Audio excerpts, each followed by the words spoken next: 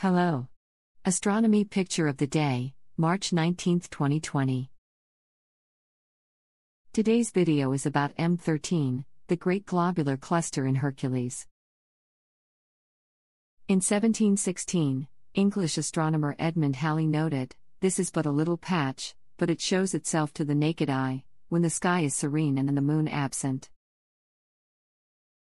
Of course, M13 is now less modestly recognized as the Great Globular Cluster in Hercules, one of the brightest globular star clusters in the northern sky.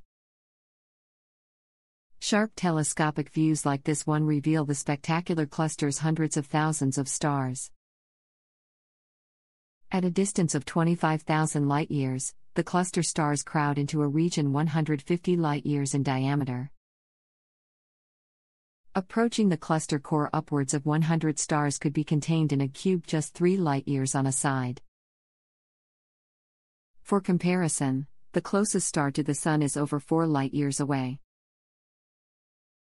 The remarkable range of brightness recorded in this image follows stars into the dense cluster core and reveals three subtle dark lanes forming the apparent shape of a propeller just below and slightly left of center. Distant background galaxies in the medium wide field of view include NGC 6207 at the upper left. Thanks for watching. And don't forget to like, comment, and share.